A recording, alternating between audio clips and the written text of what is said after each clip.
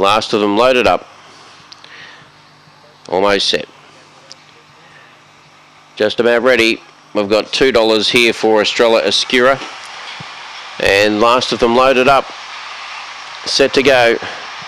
Racing in the centre showing pace was Abdul to go to the early lead from Ella Jordan going up to third. There was Mad Mac then Estrella Escura from Willow Princess and last of all was Alouette Magic. Down the back straight they stride and Abdul the leader by about four lengths to Ella Jordan then came Mad Mac and then came Estrella Escura's making a bit of ground out wide and then Willow Princess. Around the home corner though Abdul still doing well. Five lengths clear. Ella Jordan is trying hard but it's going to be Abdul all the way. It'll win it by three. Estrella Escura made good late ground for second. Third maybe Willow Princess over Ella Jordan and the last couple Mad Mac and Alouette Magic 28.69.